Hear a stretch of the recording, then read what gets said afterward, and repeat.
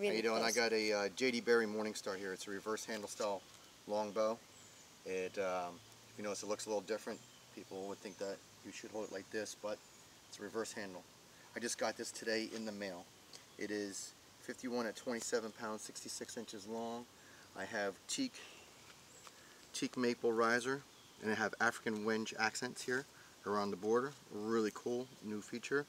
This is um, action or actual or amber blue limbs, and I have on the belly here chocolate or light milk chocolate, and then on the back side I have dark chocolate.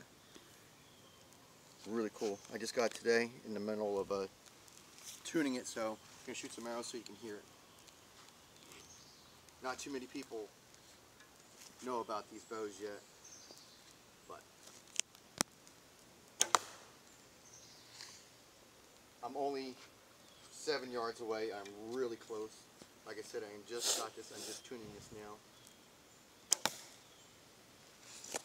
Not really trying to concentrate on where I'm hitting it, but feeling how the bow feels. And there is absolutely no hand shock. I have no silencers on this. So Haley, if you want to come closer so that they can hear it. I have never ever had a longbow where I didn't need any type of silencers, whiskers, beaver tails, where it's no sound. It's amazing. Like I said, I'm tuning it. I just put the string on it. I let it settle about half an hour. I said, I'm just going to go shoot this. So, tuning it right now.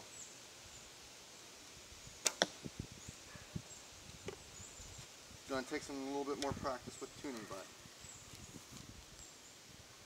I think what JD Berry did was an outstanding, outstanding product. The Morningstar. His calligraphy is really nice. Hope you enjoyed it. Thank you.